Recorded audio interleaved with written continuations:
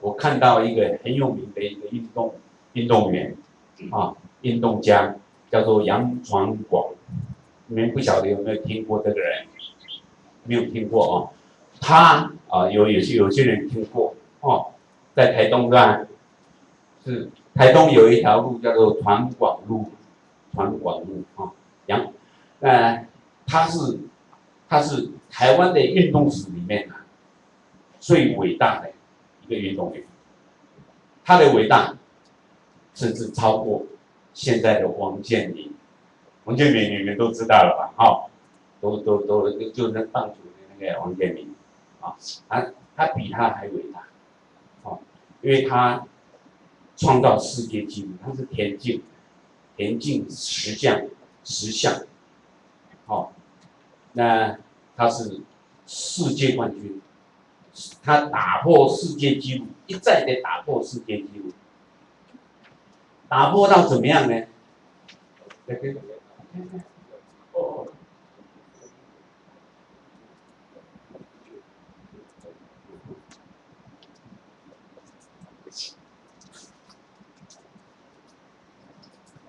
谢谢。那个他那个那个他有计算的，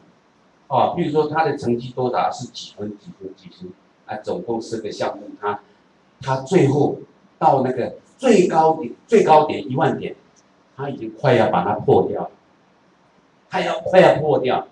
所以那个是是那个奥林匹克委员会，他们马上再去更改那个计算方法，就为了他，因为他一直破一直破。哦，可是他很可惜，他在罗马奥运的时候没有没有拿到金牌，还是拿到银牌，他只输给他的那个同学，呃，同一个教练的那个同学，他输给他了，啊，那这这个人呢，我是看十三岁看他在那边跳副本式，跳高，而副本式在现在已经是落伍了，但是那个时候哦，那是我们从来没有看过，没有看过。人好像在空中飞一样，哦，那我看了以后，从此以后就就惊为天人，然后我一头栽到那个体育运动的体育运动界里面，一直到两千零二年，两千零二年，我是负责，呃呃台湾队哈，台湾的这个亚运，就是在在韩国的釜山的。亚运，我是空手道的代表队的总教练。那么比赛完了以后，我就宣布退出教练的国家教练的那个职务，我就不再接了。啊，那么从我一九八二年担任第一次担任国家队的教练开始，一直到两千零二，总共有二十几年里面，我因为。国家队的关系，所以有看到很多的一些问题，很多问题啊。那么，那这些问这些问题，我当时我在想说，嗯，假使是我的话，我会怎么做？啊，啊，我看到很多不，呃，那个那个不公平的事情，那我就我就想，我我一定要怎么样？我我我，假使是有有有有权利的话，可是，在当时来讲是不可能的。不可能的，你只能够讲一讲而已。可是事实，世界上的事情哦，没有那个一定的，哦。现在呢，现在呢，哎，居然在两千零七年以后，我，我我却有机会了，有机会，哦，我现在在等时间，哦，将来在体台湾的体育界里面，我一定要有要怎么样做。等一下，我我可能会用几分钟的时间稍微解释一下。那么，那么开始要进入进进入正题啊啊，什么叫做体育运动？哦，体育运动，哦，体育运动其实它的主体是运动，运动才是主体。那么体育呢是什么？体育就是运动的另外一个面。所以说，就是这个运动就是人类各种活动的其中一种。那么它，那我们这个这个运动呢，它有它的另外一个面，啊，就是体育，就是一体两面。体育运动是一体两面。那么运动呢，就是竞赛，竞赛，有到参加各各种比赛呀，全国运动会啊，啊，亚运呐，奥运呐，世运呐，啊，等等，这是运动。那么同样的这个运动，你只要是牵涉到，牵涉到学术、学术或者是教育，啊，学术或者是教育，那么它就叫做体育。啊，所以一般来讲的话，都是体育系、体育系、体育大学，啊，通常都比较不太适用运动大学。那在竞赛里面呢，当然说运动竞赛、运动会。大概是比较不会讲，都是体育会啊，啊，大概是这这个点大家可以把它分清楚，啊，体育运动其实一体两面。那么说到人类的这个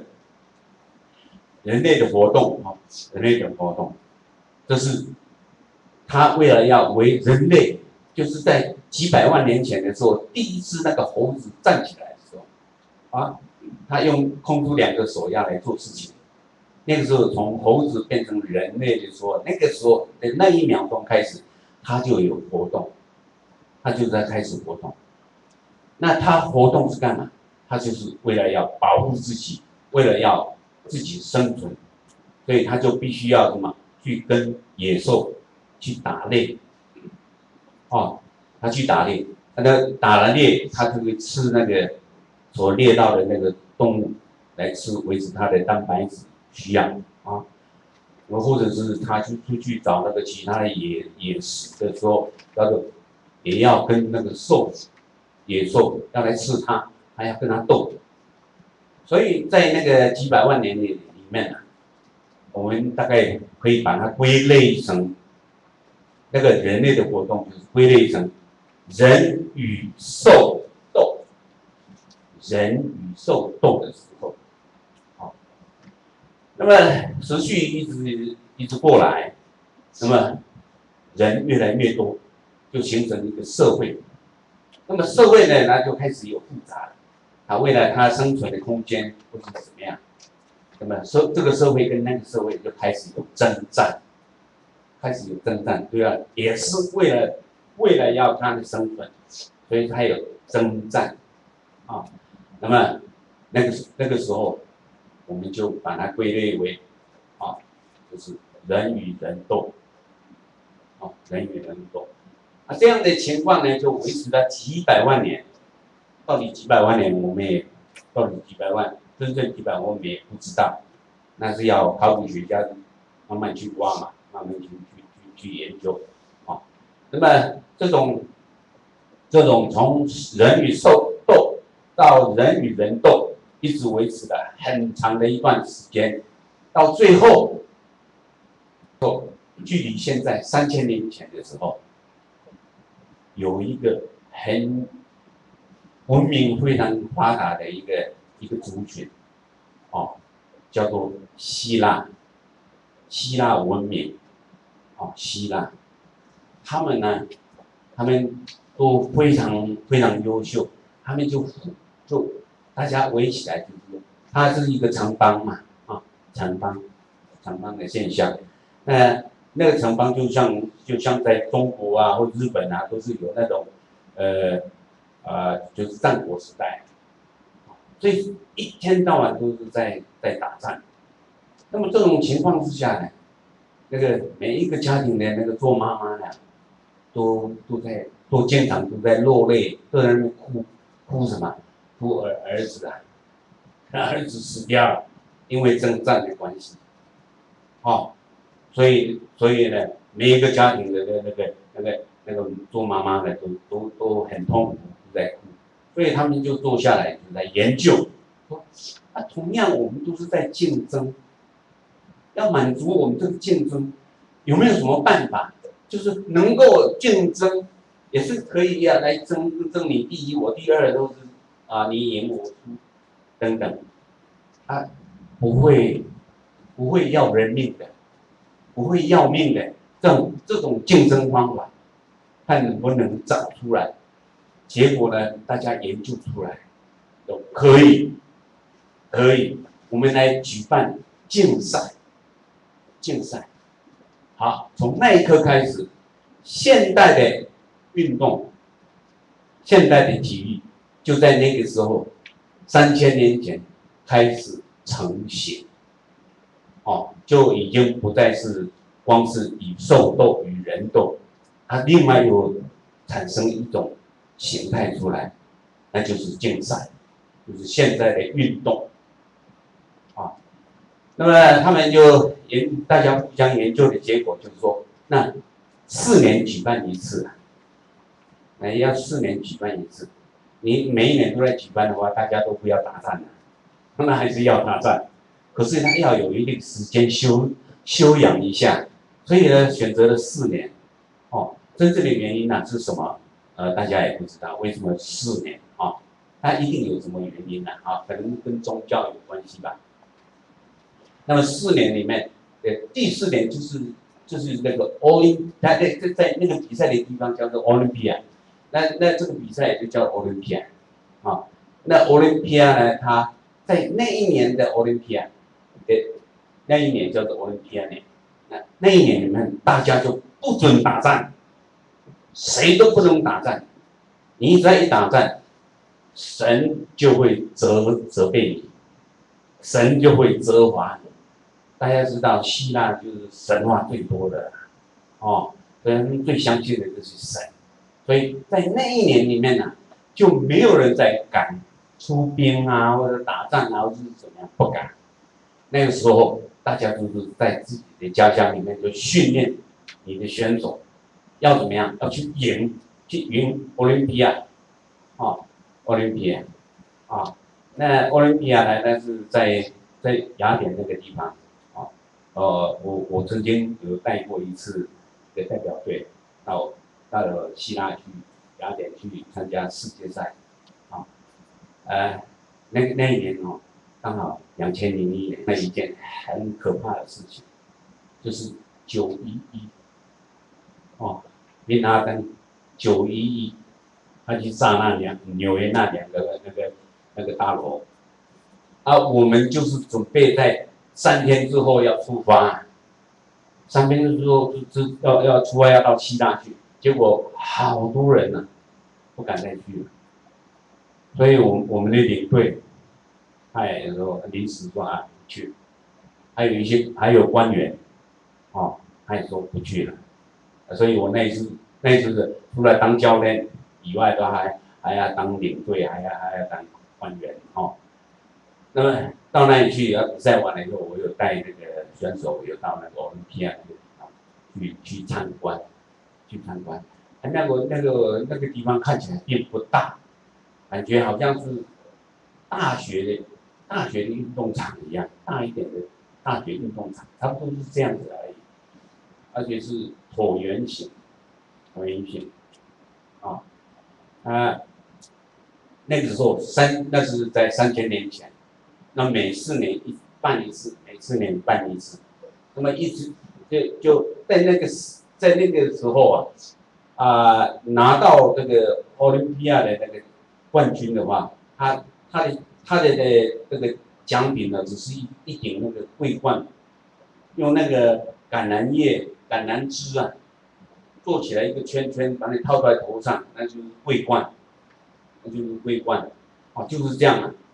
可是呢，你假如回到你自己的故乡啊，哦，那就不一样了，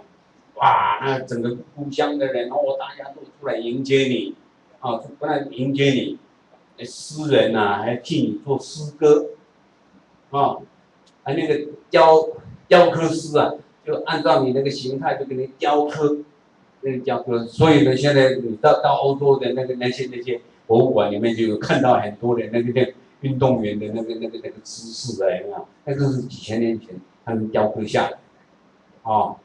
所以他是一个运动员哦，然后拿着拿到那个桂冠的话呢，是非常荣耀的。一这个几百年以后，那个诗歌还在流传，这样哦。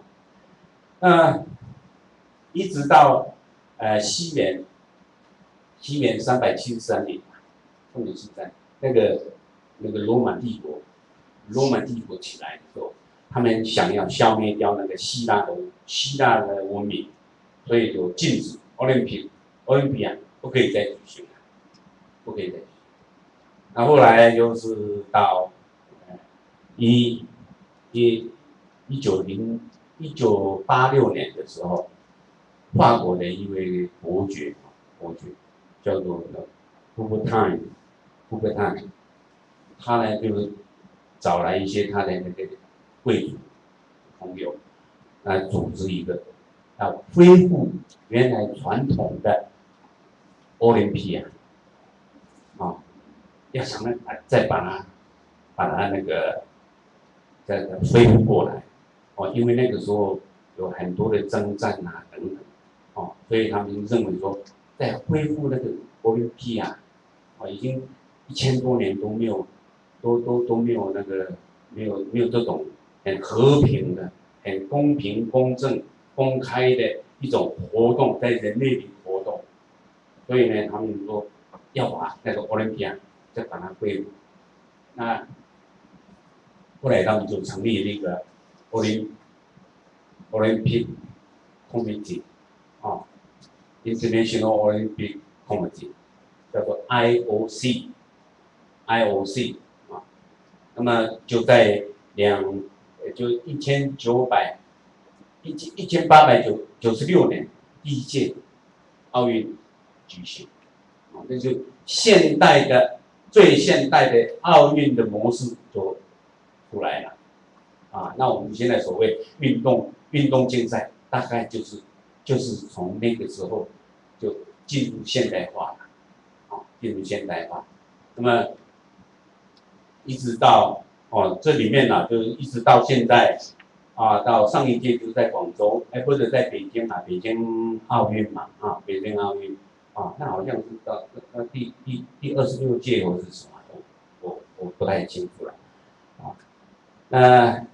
接下来下下一届就是在在伦敦，在伦敦，那我我我我我可能那那个就就没有那种机会了哈，我已经是已经是到老还乡了，已经没有那个机会了，但是我是很很很期待那那个我们我们的代代表队。还能够再再拿金牌，哦哦，这个这个我们过去在在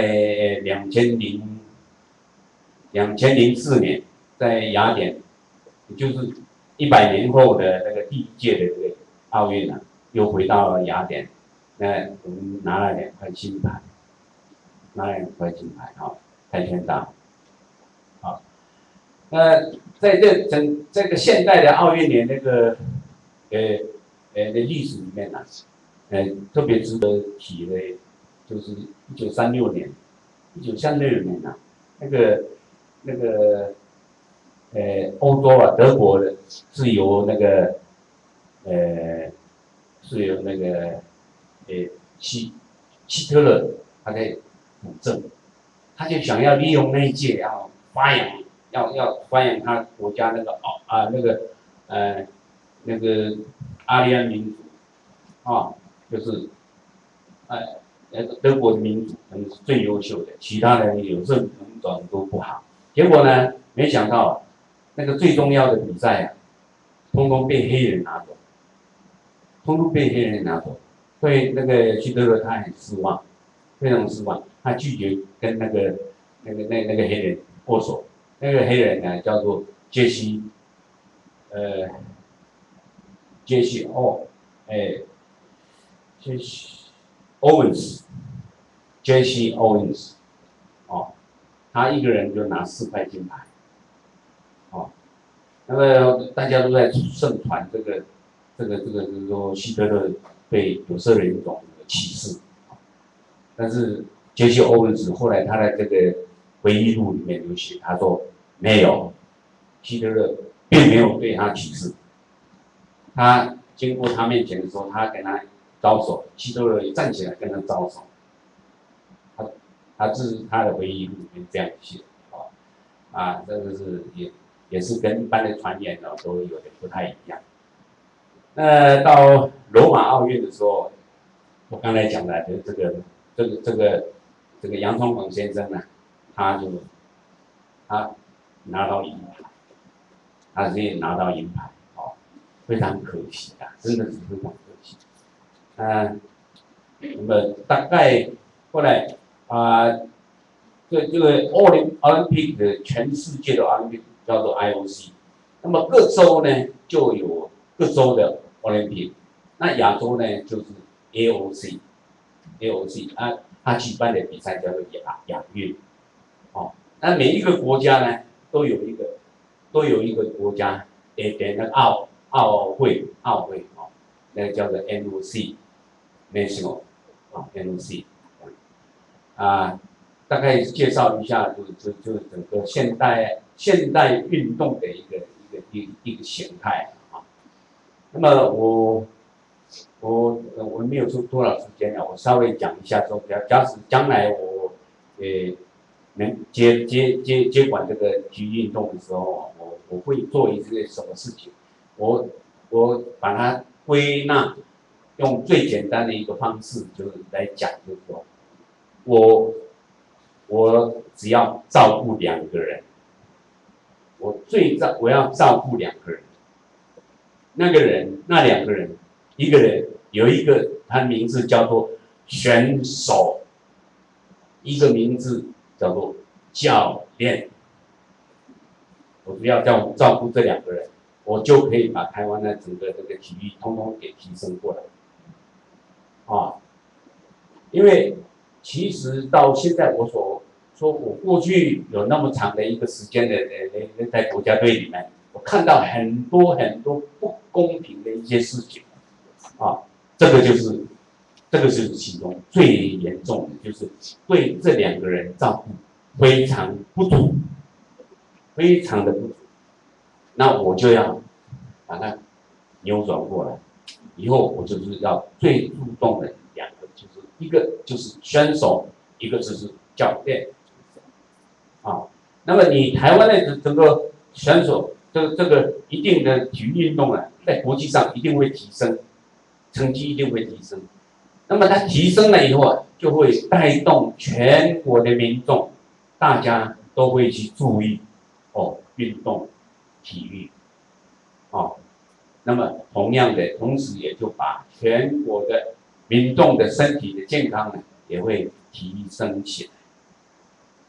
那那最原始的就是我只要把用心的去照顾这两个人。啊那么，我们现在有一个很庞大的一个公那个公务体系在主管这个体育，那么公因为它太庞大，结果有把有限的体育的经费，体育的经费通通用用在养他自己，而他所要做的事情，他本身又不是内行，他是公务人员。他公务人员啊，他哦很不简单，能够当公务人员是很不简单的，因为他要参加很多的考试，他要念很多的书，哦，他要他非常难考，考上了，考上了，哦，他就就是一个他在管的人。可是体育运动啊，我刚才讲就是那两个人在在最重要的，哦，那那两个人呢？又是很麻烦、很特殊的一些人，常常我们在在讲说，在在体育界里面有人说，我要跟他笑哎，跟他笑哎，哦，对真的那些运动员呐，那些有名的运动员，那那他们真的是像疯子一样，大太阳之下，那个那个那个，他们在那打网球的，打又足球，女孩子也在那踢足球，那个脸都是黑黑乎乎的，哎，像疯子一样，啊。我我有一个老师啊，是日本老师，他怎么样？他他怎么？台风来的时候，他是日本人，他说台风来啊，他就去拿一个铁一的门细板，拿一个门呐，拆下一个门，就顶着那个那个台风啊，就在那里跟他顶，跟他顶，他训练，他训练他的那个稳，他的那个肌肉，他的稳定，哦，那你想想看。那对对那个旁边的那些那那邻居一看，哎，他那是笑哎嘛，笑。我跟你讲，体育运动的，就是靠这些笑哎，维持下来的。没有这些疯子啊，哦，你是这个体育办不起来。但光是找那些公务员，那那些他们来来来发展体育，没有办法。所以呢，将来呢，我会针对这个这个这个我们这个公务体系呢，我会会提出一个一一一些办法。当然，这些办法必须要有很多的专家、教授、学者大家来坐下来研究。啊，那我就是要把我我所认为最需要的那个那两那我我的那个主要的观念，就是要照顾。照顾那个最重要的，其他的人哦，不要去抢风头了，就让让这两个人好好的去去去去发挥哦。那我我想这个，哎，我大概这个情况，大概我将来就是会会这样的处理了哈。那么呃，当然也大概要跟一些学者的研究。那详细的细节呢，以后以后再说了，以后再说。但是原则目标我已经定下来，那么呃，我们这一堂课呢，呃，就是就我就到准备到这里为止，好。那么各位要是有没有什么问题想要提出来，呃，问的话，啊，我想请大家提出来，这样。没有，没有问题，没问题。不知要不要复习一下刚才的那个动作？其实要操作的，你们现在知道跟会做哦，是有一个差距，有一个差距，哦。那么我们把刚才最重要的那一个动作，我们练习一下，好不好？好不好？就是掐脖子这个事情，这个动作，大家练习一下。你没有练习的话，你真的就差，会差一点，差一点呢就差之千里，好不好？啊，因为那是救你的命，那可能我相信你一辈子大概都不需要用到，但是谁能够光说我我是没，我是我是绝对不会不会碰到这种事情，这么倒霉，但是很难讲，好不好？我们现在呢，两个人两个人一组，好不好？我们在做做呃十分钟的时间，我们把这一个动作，因为这个是生命的关系，所以我我想跟各位啊，我我要看一下，我看一下，好不好？两个两个，好不好？男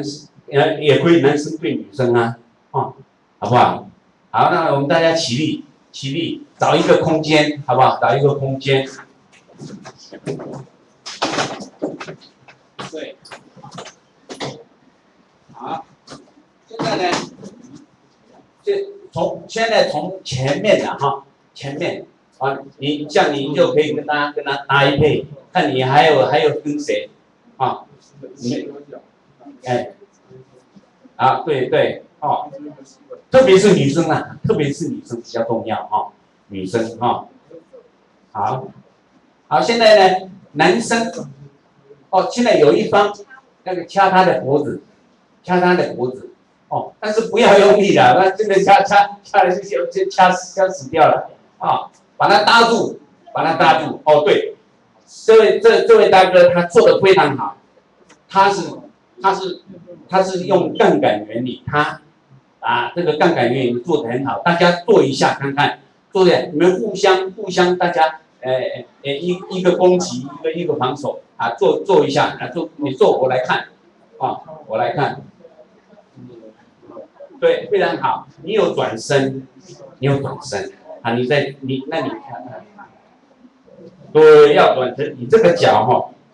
不要妨碍你的转身，你要你要移动一下，哦，哎好，后肩摔啊，后肩摔。超过从从你的那个肩膀塞过去，那样，那。还好，因为我是是空手道，啊，过肩摔我就就不是我的动作，所以我就不不会教你们这个，这个比较重要，这个比较的过过肩摔是一个专业运动的一个动作，这个只是护理旁身术。好不好？好，那哎，你们再做，你们两个再做一次。我我我要看你们现在练练习，还有也可以练习那个脱手啊。哦，来再做一次。好来，我看他记，好身体转，这个脚没有动，脚没有动，就往那里，就是这个脚动一下，身体力量就出来了，好不好？好，这边做一次。好，来你做做看。那掉到那边那边那边比较宽。好，好，接下来是吧？好，那你你怎么做？我只要看你这个动作，好，嗯，可以，基本上是对的，哈。但是呢，你必须要把力量哦，把它一次把它爆发出来，啊，哦，要不要慢慢的，慢慢慢慢慢慢，那那那那对手就就好，那一些，对，会再再做再做一次，好像是还还不太够。哦这个手手一定要直，要直，才能够跑到这里。你这样的话，就变成这里；你这样的话，这里，好不好？好，好，再做一次，再做一次。对对对，那压 下去。